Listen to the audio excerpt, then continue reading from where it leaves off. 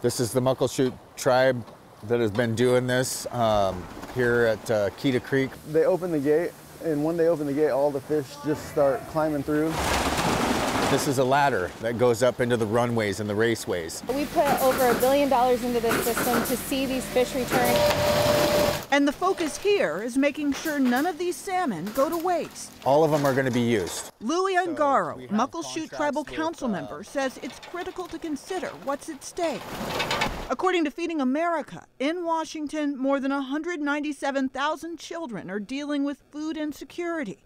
That represents nearly 12% of youth in the state. It's sad.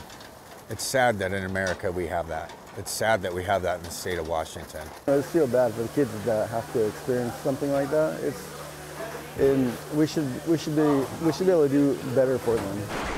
Muckleshoot Tribal member Valerie Segrest saw a solution. I knew that all these salmon were coming back. Our fishermen were having really successful runs. She says she wanted to see that food reach the people who needed it the most, and that led to a partnership between the Muckleshoot tribe and Seattle Public Schools, a district already on a mission to serve locally sourced food and school meals. And it was really a, a beautiful thing to see that come together. Ungaro was there to witness this moment in May. The collaboration between the city and the Muckleshoot tribe led to the purchase of 3,000 pounds of sustainable local salmon served to students in Seattle public schools. And to be able to harvest that and feed people right here locally is what's going to continue to strengthen a food system and keep it secure and rich and build a strong economy here. And that's what it's going to take to really address hunger.